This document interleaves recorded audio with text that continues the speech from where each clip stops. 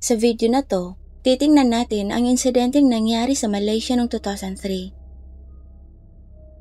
Ang 28 years old na si Kenny Ong ay nawala sa parking lot ng isang metropolitan mall kung saan sila naghapunan ng mga taong malapit sa kanya.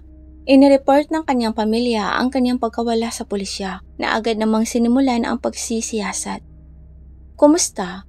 Ngayon ay natin ang malapit na sinapit ng isang babaeng dinukot sa isang parking lot ng isang kilalang mall. Sino nga ba ang salarin at bakit? Hanggang ngayon, patuloy pa rin naaalala ng mga Malaysian ang malagim na insidenteng nangyari kay Kenny Ong. Ang trahedyang ito ay yumanig sa buong bansa hindi lang dahil sa kakilakilabot at walang kasing lupit ng insidente, kundi nangyari pa talaga to sa isang sikat at prehisteryosong mall na may mga surveillance camera. Si Kenny Ong Laikyan ay ipinanganak sa Malaysia noong July 18, 1974 siya ang bunso sa dalawang anak na babae at napakalapit sa kanyang mga magulang. Taong 1995, nang pumunta siya ng US para mag-aaral sa pangarap na makapagtrabaho sa larangan ng information technology. Dito niya rin nakilala ang lalaking nagngangalang Brandon. Isa siyang Chinong US citizen, nag-migrate ang kanyang mga magulang sa bansang ito 20 years na ang nakalilipas. Naging malapit na magkaibigan sina Kenny at Brandon noong una pero di nagtagal, nauwi sa pag-iibigan ang pagkakaibigan ng dalawa. Napakalapit ni Brandon sa kanya. Palagi siya nitong tinutulungan at sinusuportahan sa lahat ng bagay. Taong 2001 nang ikasal ang dalawa. Nasa kay Kenny na ang lahat ng kanyang pinapangarap, maging sa karera man at personal na buhay. Noong 2003, nagtatrabaho siya bilang analyst sa San Diego Nagpaplano para sa magandang hinaharap kasama ang kanyang asawang si Brandon at nagnanais na ring maging isang ina. Pero sa parehong taon ding yon, ilang sunod-sunod na pagsubok ang nangyari na humantong sa malagim na trahedya. Noong 2003, nagkaroon ng malubhang karamdaman ang tatay ni Kenny na si Ong Bichung, kaya't nagpa siya siyang umuwi ng Malaysia para tulungan ang kanyang pamilya sa kinakaharap nitong problema. Noong June 1, 2003 nang dumating si Kenny sa Malaysia kasama si Brandon. Pero bumalik agad sa US si Brandon pagkatapos ng ilang araw. Habang si Kenny naman ay nagpaiwan sa Kuala Lumpur at inilaan ang halos lahat ng oras sa pag-aalaga sa kanyang ama na ginagamot sa isa sa mga klinika sa kabisera. Araw-araw silang nag-uusap ni Brandon sa telepono sa loob ng mahabang oras. Madalas nilang pag-usapan ang lahat pati na rin ang dalawa nilang pusa. Pinapaalalahanan niya lagi si Brandon na huwag pasobrahan ang pagpapakain sa mga to.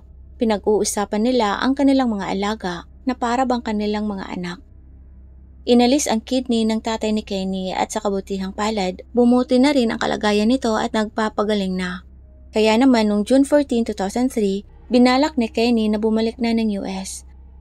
Isang araw bago ang kanyang paglipad pabalik sa naturang bansa, Inimbitahan niya ang kanyang inang si Pearly, kapatid na si Elsie, at malalapit na mga kaibigan sa isang hapunan sa restaurant na matatagpuan sa isa sa mga sikat na mall. Maagang dumating sina Kenny kaysa sa iba. Dahil sa hindi makahanap ng parking spot sa gilid ng kalye sa harap ng mall, kinailangan ni Kenny na magmaneho sa loob ng underground parking lot na may bayad. Pero hindi ang bayad ang inaalala ng nanay ni Kenny kundi ang katotohanan na medyo madilim ang paradahan na yon. Nang maiparada ang sasakyan, umakyat sila sa ikalawang palapag kung saan matatagpuan ang restaurant. Natuwa si Kenny nang makita ang mga kaibigan niya nung bata pa siya. Matagal na niyang hindi nakikita ang ilan sa kanila at gusto niya makipagkwentuhan sa kanila ng matagal. Pagkalipas ng ilang oras, napansin ni Kenny na mukhang pagod na ang nanay ni si Pearlie Tinanong niya ang ina kung gusto na nitong umuwi na sinagot naman ni Pearlie na kung pwede ba siyang mauna na lang. Pagkatapos tumayo ng mesa kasama ang kanyang ina at kapatid na si Elsie, sinabihan ni Kenny ang kanyang mga kaibigan na iuuwi niya na lang muna ang kanyang ina at babalik din siya kaagad. Pagkatapos ay tumungo ang tatlo sa unang palapag ng mall para magbayad ng parking. Nakatayo na sila sa pila nang mapagtanto ni Kenny na naiiwan niya pala ang parking ticket sa loob ng kanyang sasakyan. Kaya't sinabi niya sa kanyang ina at kapatid na maiwan na lang muna sila sa pila at bababa na muna siya para kunin ang ticket. Pero natapos na lang ang pila, hindi pa rin bumabalik si Kenny. Lumipas pa ang sampung minuto at tinawagan na siya ng kanyang kapatid. Walang sumagot sa unang tawag habang ang pangalawang tawag naman ay na-redirect sa voicemail, kaya't malinaw na may mali. Agad na binuntahan ng mag-ina ang parking lot. Pero laking gulat nila nang malamang wala na doon ang sasakyan ni Kenny. Ilang beses silang umikot sa parking lot pero wala na talaga si Kenny pati ang sasakyan nito. Sigurado si Pearly na may nangyari sa kanyang anak dahil hindi ito umaalis nang walang sinasabi. Mahina ang ilaw sa parking lot pero may mga surveillance camera na maaaring makapagbigay ng ilang mga kasagutan. Nung una, ayaw mo nang ipakita ng security ng mall ang mga footage sa mga kamag-anak ni Kenny. Pero pumayag din matapos magsumamo ng husto ang nanay ni Kenny sa kanila. Bandang hating gabi, nakaupo si na Pearly at Elsie sa harap ng isang monitor at nagulat sila sa kanilang napanood. Makikita sa footage na humarurot palabas ang sasakyan ni Kenny at binangga pa ang harang. Makikita rin na may ibang nagmamaneho. Hindi maganda ang kalidad ng footage pero malinaw na malamang na lalaki ang nagmamaneho habang si Kenny naman ay nakaupo sa katabi nitong passenger seat at ang posisyon ng katawan ni Kenny ay parang nakasandal sa may pinto para bang sinusubukan nitong mailayo ang sarili sa nagmamaneho hanggat maaari. Matapos makita ang footage, agad na pumunta si Pearly sa himpilan ng pulisya kung saan sila nagsampa ng pagkawala at pagdukot kay Kenny. Agad namang sinimulan ng pulisya ang investigasyon, habang ang pamilya at mga kaibigan naman ni Kenny ay nagmamaneho palibot sa buong Kuala Lumpur. Umaasang makikita ang kotse ni Kenny na isang purple Proton Tiara Samantala, napagtanto naman ang asawa ni Kenny na si Brandon na may mali. Ilang beses niyang tinatawagan ang numero ng asawa pero hindi niya tumakontak. Kaya tinawagan niya ang nanay nito kung saan niya nalaman ang nangyaring pagkawala ni Kenny at narinig ni Pearly kung gaano umiyak si Brandon sa kabilang linya.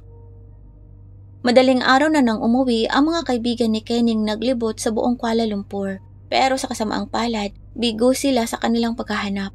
Ikinalat naman ng pulisya ang impormasyon sa pagkawala ni Kenny at nagsagawa din ng sarili nilang pagkahanap. Gayunpaman wala pa ring resulta. Hindi rin nakatulong ang CCTV footage mula sa mall sa pagkilala sa lalaking nagmaneho sa kotse ni Kenny. Mahigit 72 oras na ang lumipas mula nang huli siyang makita ng mga mahal niya sa buhay Iniisip ng pulisyang hindi pera ang motibo sa pagdukot kay Kenny dahil masyado nang matagal at wala pa ring tumatawag para humingi ng perang kapalit niya. At hindi ito maganda na nakumpirma naman ng pulisya sa parehong araw dahil sa masamang balita.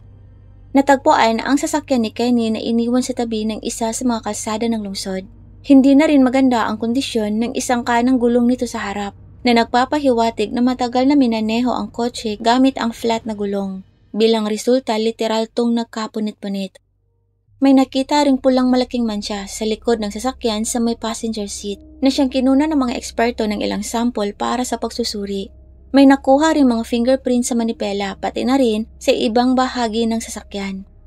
Hindi naman nawala ng pag-asa ang pamilya at mga kaibigan ni Kenny at nagdarasal na makabalik siya ng ligtas sa kanila.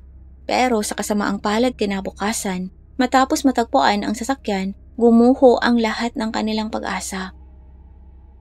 Isang manggagawa sa kalsada ang nakapansin ng malakas na mabahong amoy na nagmumula sa isang manhole malapit sa isang highway. Nang iniangat nito ang takip, isang katawan ng tao ang nakita niyang sinubukang sunugin gamit ang dalawang gulong ng sasakyan at mga kahoy. Agad namang dumating ang mga pulis sa pinangyarihan kung sino man ang nagtago at nagsunog sa katawan na yon sa loob ng manhole, sinisiguro nito na mahirap nang makilala ang naturang katawan. Makukumpirma na ang takot ng pamilya matapos matagpuan ang katawan. Pero sinabi ni Pearly, hindi siya maniniwalang wala na ang kanyang anak na si Kenny hanggat hindi siya nakakakuha ng kumpirmasyon. Sinabi niyang hanggang hindi nito makukumpirma, patuloy silang aasang makakabalik ng buhay si Kenny sa kanila. Pumunta ang pamilya sa morgue pero sabi ng doktor, hindi pa rin daw nila makukumpirmang si Kenny o nga ito. Nagbigay naman ng DNA sample ang pamilya ni Kenny para magsagawa ng comparative analysis at nakumpirma ng resulta ang pinakamasamang bangungot ng pamilya. Si Kenny o nga talaga ang natagpo ang sinunog sa loob ng nasabing manhole. Ayon sa ilang mapagkukunan bago pa man lumabas ang resulta, alam na ng pamilya ni Kenny na siya nga ang katawan dahil sa ilang mga alahas na suot nito. Pero si Pearly bilang isang mapagmahal na ina, naniniwala at umaasa pa ring ligtas ang kanyang anak hanggang sa huli. Hindi talaga maisip kung anong emosyonal na paghihirap ang kailangan nitong pagdaanan. Lumabas sa resulta na nagtamo ng dalawang saksak si Kenny sa kanyang tiyan. May nakita ring sinyalis ng pananakal sa kanyang leeg. May isang telang ilang beses na nakabuhol na nakatali sa leeg ni Kenny. May similya din ng lalaki ang natagpuan sa loob ng katawan nito. Ilang araw matapos matagpuan ang wala ng buhay na si Kenny, umusbong ang maraming katanungan hingil sa mga trabaho ng mga ahensyang nagpapatupad ng batas. Isang undercover na pulis na nagngangalang Subramanyam Ravichandran ang nag-ulat sa kanyang mga superior na nung gabi ng pagkawala ni Kenny, naka-duty silang nakamotorsiklo ng kanyang partner. Nagpapatrolya sila sa gabi sa mga lansangan ng Kuala Lumpur nang hindi naka-uniforme. Nakita nila ang isang kotseng maling nakaparada sa kalsada Nagpasya silang huminto malapit dito para tingnan kung may tao sa loob. Habang naglalakad papunta sa pinto ng driver, nakita ni Ravichandran ang isang lalaking nakaupo sa may manipela at isang babaeng katabi nito sa may passenger seat. Kinatok niya ang bintana at nang bahagyang binaba ng lalaking nasa manibela ang bintana, ipinakita niya rito ang kanyang police ID at tinanong sila kung ano ang ginagawa nila doon na sinagot naman ng lalaki na may pinag-uusapan lang sila ng kanyang kasintahan at wala silang masamang ginagawa. Kung kaya hiniling ng pulis ang ID ng lalaki at ng kasama nitong babae. Habang kinukuha ng pulis ang ID ng lalaki, may kakaiba namang sinisenyas ang babae gamit ang kanyang kamay sa naturang pulis. Tila humihingi ito ng tulong at tumitigil sa tuwing lumilingon ang sinasabing nobyo nito sa kanya. Nang mapansin to ng pulis, hiniling nito sa lalaking lumabas ng sasakyan. Agresibo naman itong tumugon at pinagbintangan si Ravichandran na hindi siya isang pulis kundi isang magnanakaw. Saka itinaas ang bintana at mabilis na pinaandar ang sasakyan. Nang mapagtanto ng pulis na papaalis ang kotse, agad itong naglabas ng baril at pinaputukan ang kanang gulong ng sasakyan sa harap. Pagkatapos nito, mabilis na pinaharurot ng lalaki ang naturang sasakyan. Mabilis namang pinaandar ng dalawang pulis ang motorsiklo at hinabol ang kotse pero sa ilang mga kadahilanan, hindi nila naabutan ang isang sasakyang may sirang gulong at ito ang opisyal na bersyon. Pero hindi na nagulat ang himpilan ng pulisya ng Malaysia noong panahong yun na hindi tumawag ng tulong at hindi ipinaalam ng nakaduting mga pulis sa sino man ang tungkol sa nangyari.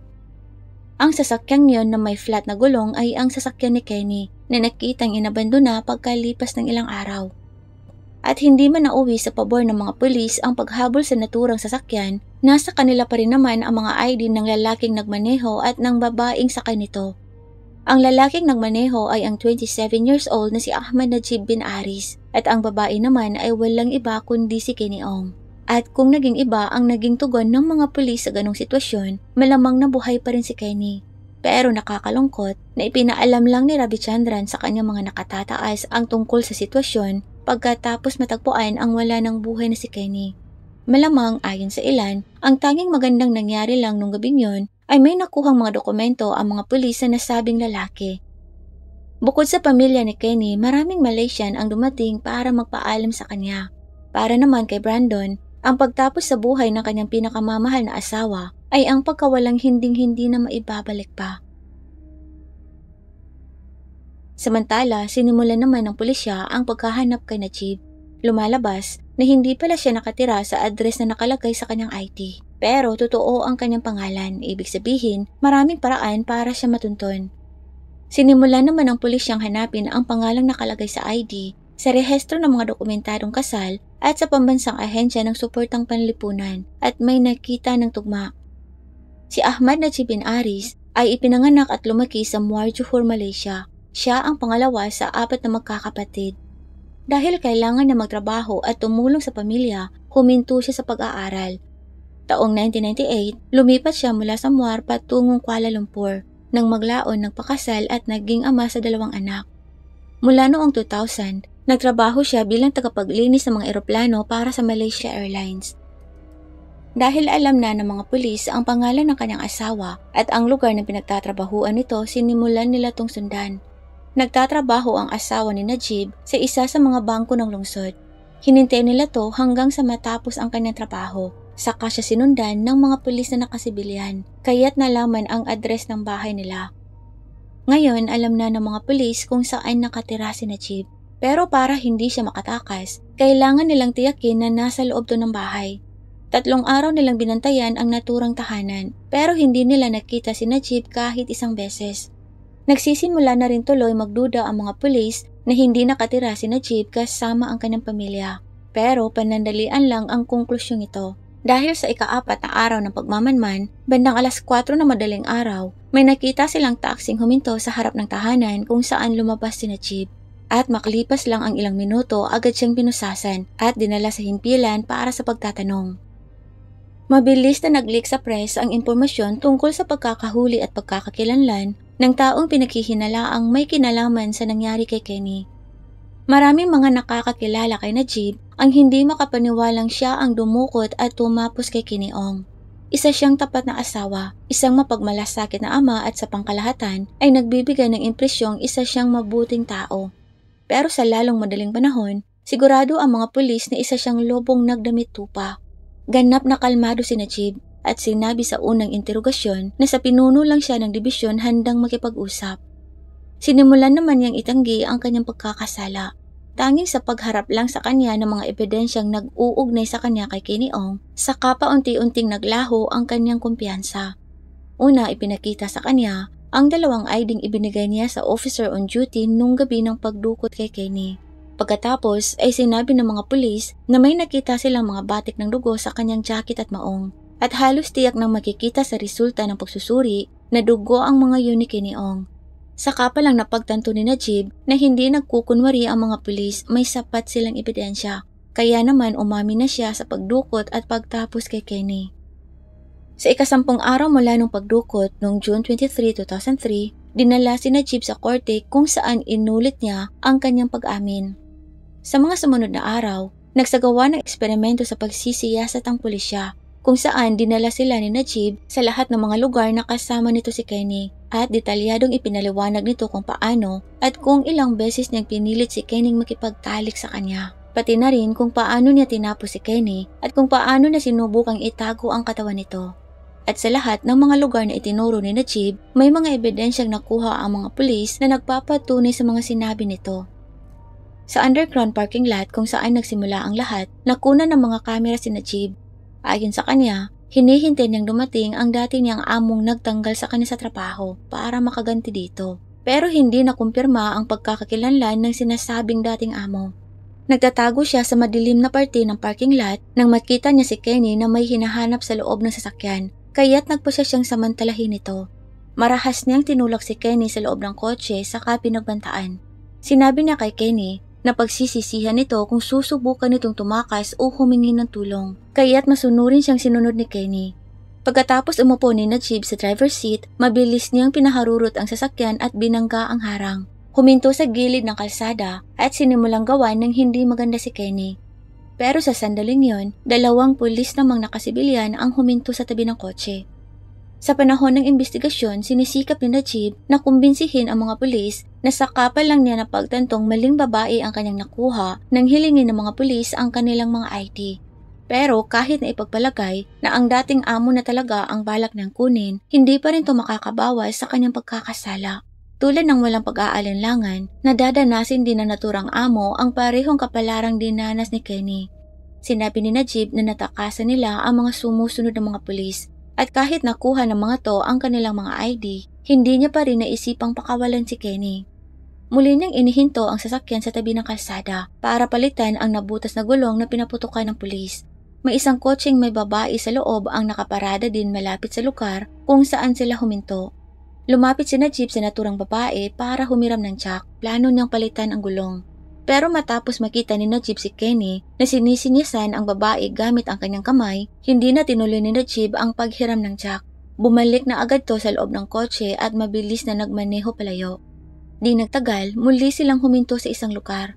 Gamit ang kutsilyo, pinilit niyang makipagtalik si Kenny sa kanya.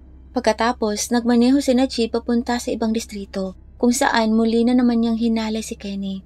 Pareho silang nasa likurang upuan at nagmamakaawa si Kenny sa kanya. Pero sa halip, kinuha niya ang buhay nito.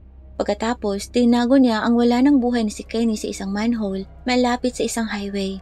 Muli siyang nagmaneho papunta sa ibang lugar at doon iniwan ang sasakyan. Lumipas ang labing anim na oras bago siya bumalik sa pinaglagyan niya kay Kenny na may dala ng gasolina. Saka sinubukang sunugin si Kenny para maalis ang mga ebidensya. Kinumpirma naman ng isang eksperto na kay Najib ang similyang natagpuan sa loob ng katawan ni Kenny. Nakuha rin ang kanyang DNA sa loob ng sasakyan pati na rin ang kanyang mga fingerprints sa manibela ng kotse na isa pang hindi maikakailang patunay ng kanyang pagkakasala. At nakumpirma naman na kay Kenny ang mga dugong dumikit sa maong at jacket ni Najib. Nagsimula ang paglilitis noong September 15, 2003, tatlong buwan mula nung tinapos niya si Kenny ang kasong ito ay naging isa sa pinaka-controversial sa Malaysia na nakatanggap ng malaking atensyon mula sa media at publiko. Ang ganitong high-profile na paglilitis ay hindi lang nakakaakit ng mga ordinaryong Malaysian at mga reporters, kundi pati na rin sa mga taong gustong makagawa ng pangalan para sa kanilang mga sarili, lalo na ang mga abogado kung saan marami si Najib. Kahit na inamin niya ang kanyang pagkakasala sa panahon ng pagsisiyasat at mayroong higit sa sapat na patunay ng kanyang mga ginawa kabilang ang mga ebidensya ng DNA, pagkatapos kumonsulta sa anim ng abogado, hindi umamin si Najib sa kanyang unang paglilitis. Sa pagsasabi sa korting umamin lang siya sa ilalim ng presyon ng pulisya. Pero ang hukom kung saan umamin si Najib pagkatapos ng kanyang pag-aresto ay nagpatotoo na sa oras ng pag-amin nito, walang mga palatandaan ng pisikal na pang-aabuso sa nasasakdal at napakakalmado pa nga nito kung kumilos. Dahil dito, binago ng mga abogado ang kanilang taktika at nagsimulang makipagtalong kagustuhan ni Kining makasama ang kanilang kliyente sa loob ng nasabing sasakyan. Iniugnay ito ng mga abogado ni Najib sa katotohanang hindi tinangkang tumakas ni Kenny sa kabila ng pagiging black belt nito sa taekwondo. Pero tinanggihan ng argumentong ito ng pagtatangkang pagsisi kay Kenny sa hindi pagtakas dahil ang bawat isa ay may iba't ibang tugon sa mga kritikal na sitwasyon. Pero hindi pa rin tumigil ang mga abogado ni Najib. Muli naman silang nakabuo ng bagong bersyon sa pagsasabing kusang gustong makipagtalik ni Kenny kay Najib Sinabi nilang nalagutan ng hininga si Kenny mula sa pagkakasakal na ginagawa para mas lalo pang painitin ang sensasyon sa panahon ng pagkikipagtalik. Pero hinamo ng mga eksperto ang version na to. Ilang beses na nakabuhol ang telang nakatali sa leeg ni Kenny na nagpapahiwatig na si Najib ay walang intensyong paluwagin ito. Sa katunayan, sa higpit ng pagkakatali ng telang yon sa leeg ni Kenny, ang balat sa ilalim nito ay ang tanging parte lang ng katawan na hindi napinsala ng apoy. At hindi lang yon, ang telang ginamit ay idinisenyo para sa pagpunas ng mga bintana ng eroplano. At kung isa sa alang-alang ang trabaho ng nasasakdal bilang tagapaglinis ng eroplano, mas lalo pa siyang nauugnay sa nangyari kay Kenny. At isa pa, hindi rin alam ng mga abogado ni Najib kung paano ipapaliwanag ang mga natamong saksak sa katawan ni Kenny. Sa puntong yon, naubusan na ng ideya ang mga abogado ni Najib kaya't inirekomenda nilang manahimik na lang si Najib at huwag nang magbigay ng anumang patotoo. Marami din ang mga nagtatanong kung bakit nga ba hindi bumaba ng sasakyan si Kenny samantalang mayroon naman siyang dalawang pagkakataon para makatakas. Sa kasamang palad, hindi na natin kailanman malalaman ang sagot sa mga katanungan yon. Sinabi ng ilan na marahil dahil sa sobrang takot, hindi na nito nagawa pang kumilos. February 23, 2005, si Ahmad Najib bin Aris ay napatunayang nakasala sa lahat ng mga isinampal laban sa kanya. Sinabi ng hukom na ang mga nakalap na ebidensya ay nakaturo lang sa iisang tao kay Najib. Para sa paghalay at paglapastangan niya kay Kenny, binigyan siya ng pinakamataas na sentensya ayon sa mga batas ng Malaysia. 20 years na pagkakakulong at 10 hampas ng tungkod. Pero pinatawan din siya ng parusang bitay dahil sa pagtapos niya kay Kenny. Dalawang beses namang tinangkang iapila ng kanyang mga abogado ang naturang hatol, pero parehong bigo. Noong 2010, sumulat si Najib sa pinuno ng estado. Humihiling na bawasan ang kanyang sentensyang bitay sa habang buhay na lang na pagkakakulong. Sa kanyang liham, muli niyang itinanggi ang kanyang pagkakasala, pero tinanggihan pa rin ang kanyang kahilingang pagpapatawad. September 23, 2016, Mahigit 13 years pagkatapos ng nangyari kay Kineong, isinakato para ng hatol sa 40 years old na si Ahmad Najib bin Aris.